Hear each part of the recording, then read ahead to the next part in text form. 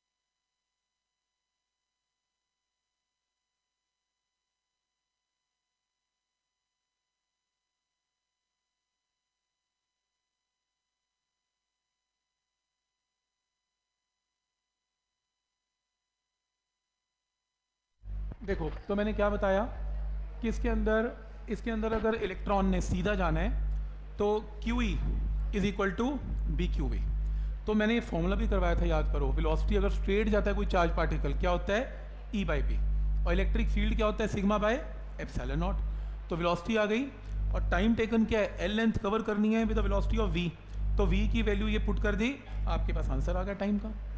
तो पहला step clear है how to calculate the time तो ये पहला क्वेश्चन है। दूसरा question a long straight wire is along the Z axis carries a current of I in negative Z direction तो नेगेटिव जेड क्या होता है? बोर्ड के अंदर। तो एक वायर है, वो बोर्ड के अंदर है। कुछ ऐसे मैंने लिया। ये देखो। एक वायर के अंदर करंट ऐसे जा रहा है बोर्ड के अंदर। ये करंट कैरिंग वायर इनफाइनाइट ऐसी है। तो ये वायर है करंट अंदर जा रहा है। वो कह रहा है कि यहाँ पे कोई पॉइंट लो, जिसका कोऑर्डिनेट एक्स कॉमा वाई है, इस पॉइंट के ऊपर बी की वैल्यू बताओ क्या होगी इन चारों ऑप्शन में से। ठीक है? तो ये एक इनफाइनाइट वायर है, और ये एक्स कॉमा वाई है तो ओरिजिन पे ले लेते हैं ये। तो एक्स कॉमा वाई का मतलब क्या होता है?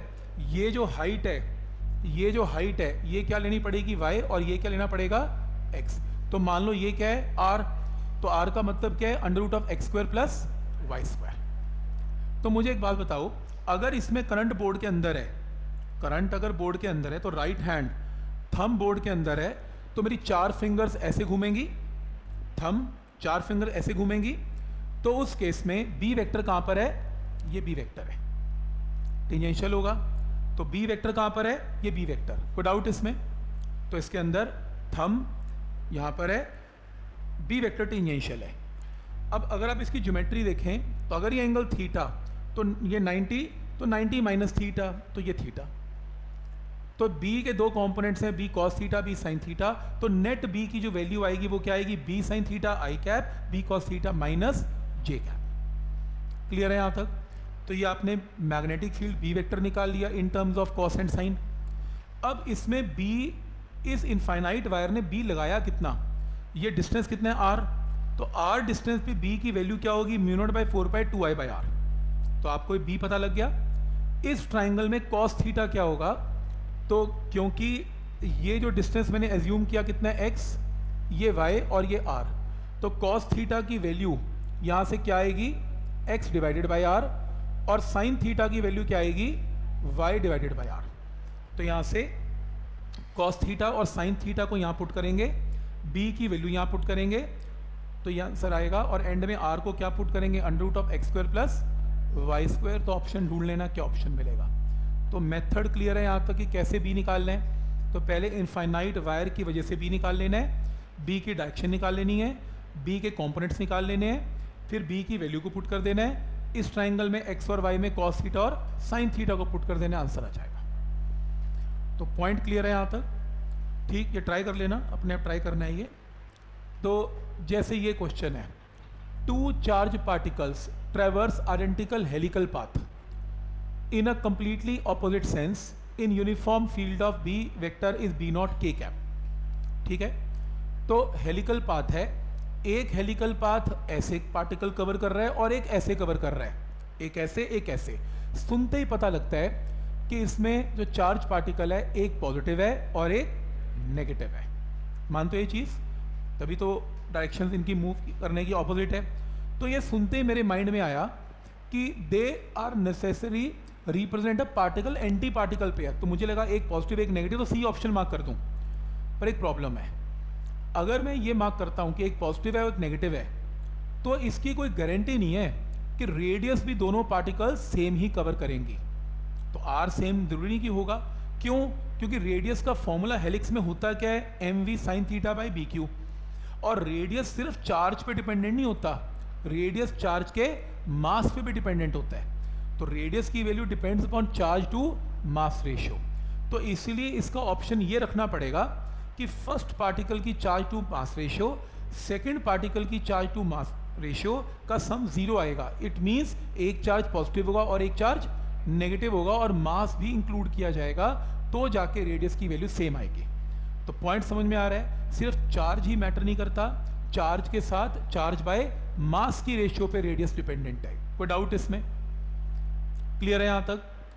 Next question number four which of the following graph represent variation of magnetic flux density B with distance R for a straight या straight long wire carrying a current of I infinite अगर wire है infinite wire straight का B का formula क्या होता है? Mu naught by four by two I by R तो B inversely proportional to R तो ग्राफ क्या बनेगा? C बनेगा। ठीक है यहाँ तक? नेक्स्ट जो है क्वेश्चन नंबर फाइव बायट सब law indicates that moving electrons produce a magnetic field B such that भाई एक बात बताओ बायट जबट लॉ में ये इनफाइनाइट वायर करंट है करंट इसमें आए ऊपर है तो इलेक्ट्रॉन की डायरेक्शन नीचे है वायर में, और मैग्नेटिक फ़ील्ड इस प्लेन में होता है। है ना सर्कुलर वायर्स एक सर्कुलर जो है बनती हैं। तो वेलोसिटी ऑफ़ इलेक्ट्रॉन ऐसे है मैग्नेटिक फ़ील्ड ऐसे है तो दोनों के बीच में एंगल क्या बनेगा?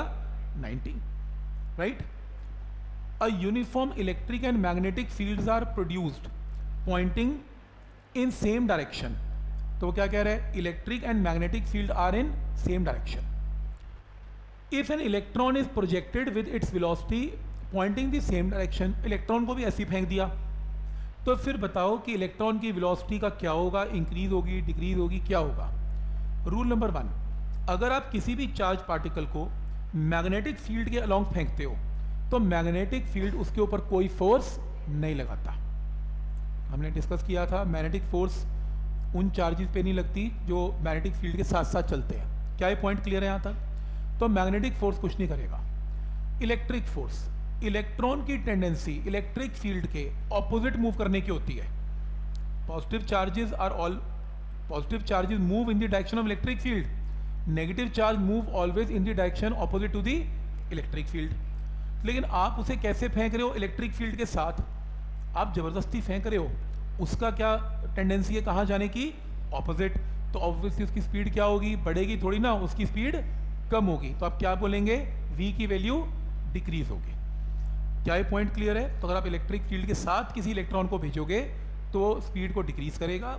और अगर पॉजिटिव चार्ज को भेजोगे तो वो स्पीड इंक्रीज करेगा। इलेक्ट्रोस्टैट्स की प्रॉब्लम हो गई है। जैसे question number seven length L of the wire carries a steady current is I it is bend first to form a circular plane coil of one turn तो एल लेंथ ऑफ़ वायर ली I current है, उसका एक circle बना दिया। Magnetic field भी आ गया। फिर वो कह रहा है इस केस में सेम लेंथ उसको तीन लूप बना दिए तो मैग्नेटिक फ़ील्ड का क्या होगा? हमने एक शॉर्टकट किया था। अगर आपके पास L length of the wire है, आपने एक रिंग बनाया तो मैग्नेटिक फ़ील्ड बी है। आपने एन रिंग्स बनाए तो magnetic field becomes N square B तो यहाँ पर तीन लूप्स बनाए तो थ्री स्क्वायर बी तो आंसर नाइन टाइम्स होगा, हमने क्लास में शॉर्टकट किया हुआ है। ठीक है यहाँ तक? सेवंथ के बाद क्वेश्चन नंबर एट इस क्वेश्चन को एक बार देखें please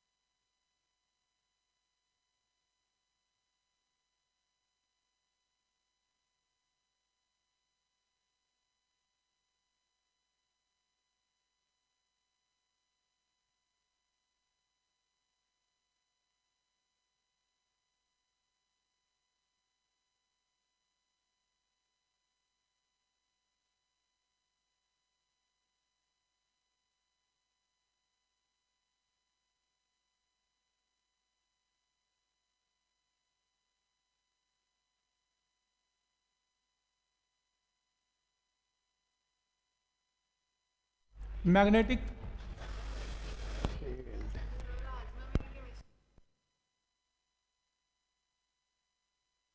magnetic field normal to the plane of the wire of N turns and radius R which carries a current I is measured on the axis of the coil at a small distance H from the centre of the coil ये पूरी statement ये बता रही है कि magnetic field uh, normal to the plane of N turns तो ये coil है एन टर्न्स की क्वाइल है, जिसका रेडियस आर है और मैग्नेटिक फ़ील्ड को कहाँ निकाल रहे हैं? On the axes of the coil at a distance of H तो ये एक्सिस है एक्सिस से एच डिस्टेंस पे मैग्नेटिक फ़ील्ड की वैल्यू निकाल रहे हैं। ठीक है?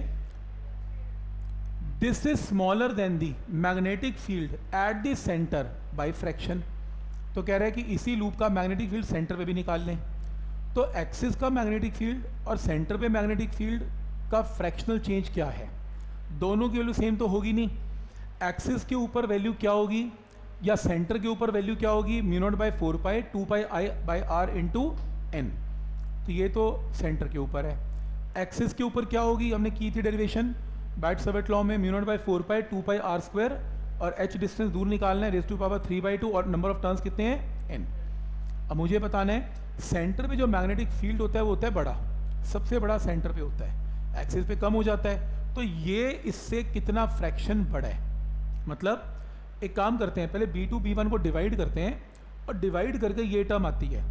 इस केस में ये पहली टर्म वन है और ये वाली टर्म और ये वाली टर्म को मल्टीप्लाई करके बाइनोमियल लगा के अप्रॉक्सीमेट ये रिज़ल्ट आता है। तो ऐसे केस में बाइनोमियल लगती है तो approximate B two by B one की वैल्यू आ गई। मुझे क्या निकालना है? बी वन सेंटर पे मैग्नेटिक फ़ील्ड है बी टू एक्सिस पे है। तो चेंज कितना हुआ? B one minus B two divided by B one तो B one by B one one है minus B two by B one B two by B one हम पूरे का पूरा ये निकाल चुके हैं। यहाँ पर रिप्लेस कर दें। वन से वन कैंसल ये अप्रॉक्सीमेट आंसर आएगा फ्रैक्शनल चेंज का। तो ये बिना किए नहीं आ सकता, क्योंकि आपको कैसे पता लगेगा कि बाइनो में लगेगी? तो ऐसे केस में जितने भी एक्सिस वाले क्वेश्चन हैं, ज़्यादातर केस में बाइनो में लग जाती है। क्योंकि पावर थ्री बाई टू हटाने का यही तरीका है कि आप बाइनो में लगा के उसको हटाएँगे। बट पॉइंट क्लियर है यहाँ तक। सेंटर के ऊपर भी एक्सिस के ऊपर भी और फिर फ्रैक्शनल चेंज बोलो कोई डाउट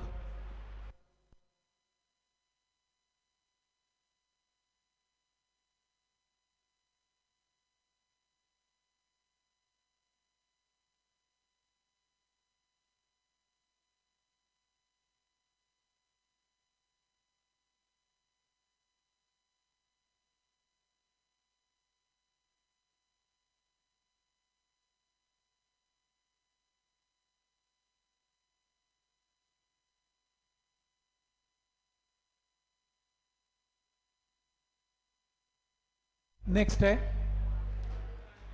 ये नाइन्थ क्वेश्चन आपका बाइट सवेट लॉ का पहला जो न्यूमेरिकल किया था हमने, कि I D L sine theta by R square ये वहाँ से होगा।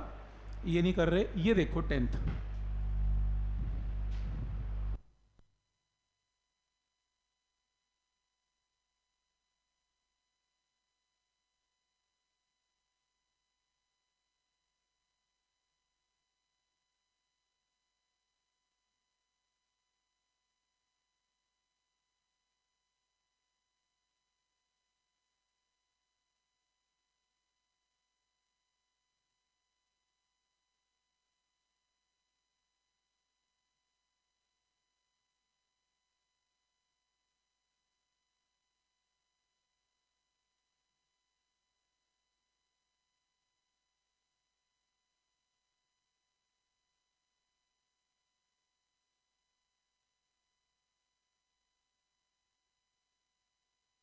करंट इलेक्ट्रिसिटी का फुल ऑब्जेक्टिव टेस्ट है मेडिकल वालों का अलग नॉन मेडिकल का अलग।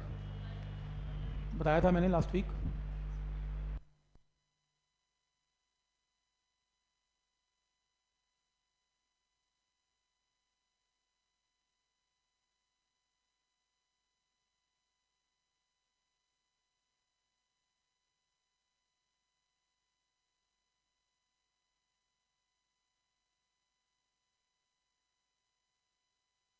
देखो electron is projected with uniform velocity along the axis of current carrying long solenoid कौन सी स्टेटमेंट इसमें ट्रू है?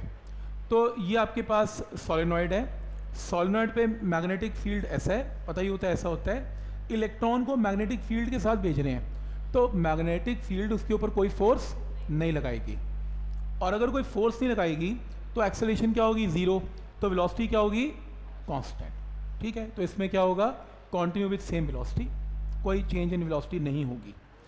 ये क्वेश्चन किया हुआ है magnetic field B at a distance of R from a long straight rod carrying a current तो आपको याद होगा, एक मोटी रॉड है करंट कैरिंग और हमने एम्पियर सर्किट लॉ की एप्लीकेशन की थी कि उस करंट कैरिंग रॉड के अंदर जो बी होता है डायरेक्टली प्रोपोर्शनल टू आर होता है, और बाहर जो होता है इन्वर्सली प्रोपोर्शनल टू आर होता है। तो ग्राफ ये देखो डायरेक्टली प्रोपोर्शनल और इन्वर्सली प्रोपोर्शनल तो बी का ग्राफ आर के साथ प्लॉट करना है। तो ये उस टाइम मैंने लिखवाया भी था ग्राफ कैसा बनेगा। इसको रीड करें प्लीज़ इस क्वेश्चन को देखें।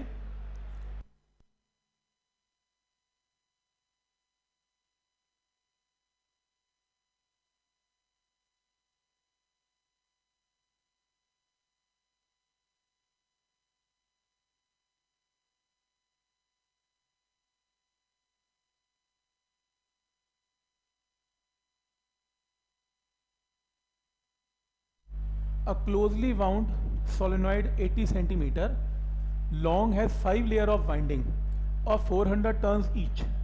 तो चार, पाँच लेयर्स वाइंडिंग की है और 400 टर्न्स हैं एक बारी में। तो चार इंटू पाँच सौ कितने दो हज़ार टर्न्स हैं टोटल लेंथ इसकी 80 सेंटीमीटर क्वेश्चन में गिवन है। तो लेंथ गिवन हो अगर और नंबर ऑफ़ टर्न्स गिवन हो, हम क्या कैलकुलेट कर सकते हैं? नंबर ऑफ़ टर्न्स पर यूनिट लेंथ फिर वो क्या कह रहा है? इसमें डायमीटर ऑफ़ दिस सोलिनॉइड 1.8 है। क्रॉस सेक्शन डायमीटर 1.8 है। The estimate the magnitude of B अब बी का फॉर्मूला सोलिनॉइड में होता क्या है? Mu naught N I N हमने निकाल लिया। करंट हमें पता है? आंसर इसमें डायमीटर का कोई रोल नहीं है, क्योंकि डायमीटर का रोल तब होता है अगर लेंथ ऑफ़ दी सोलिनॉइड जो होती है, जब बहुत बड़ी होती है डायमीटर से तो वो इनफाइनाइट सोलिनॉइड लिया जाता है तो इसमें डायमीटर चाहिए नहीं होता। बस फॉर्मूला एक ही लगता है B is equal to mu naught N I हमने किया था सोलनेट की प्रॉब्लम हमने की थी right current of I ampere flows along infinitely long straight thin wall tube the magnetic induction at any point inside a tube is तो एक ना सिलेंड्रिकल ट्यूब है। इस ट्यूब के बाउंड्री के अंदर आई करंट जा रहा है। अंदर खाली पड़ी है। तो इसके अंदर कितना मैग्नेटिक फ़ील्ड होगा? होगा ही नहीं। क्यों? क्योंकि अगर मैं यहाँ पर बी निकालता हूँ तो क्लोज पाथ लूँगा। क्लोज पाथ के अंदर कोई करंट ही नहीं होगा तो बी की वैल्यू क्या आएगी? स्ट्रेट वे ज़ीरो क्लियर है यहाँ तक? इसके बाद के क्वेश्चंस आपने ट्राई करने हैं। इसके डाउट्स लूँगा मैं। इस शीट के और शीट नंबर थर्टी टू के तो करने ही करने हैं। थर्टी थ्री भी करनी है। Thirty two and thirty three तो नेक्स्ट टाइम इसके क्या होने हैं? डाउट्स होने हैं।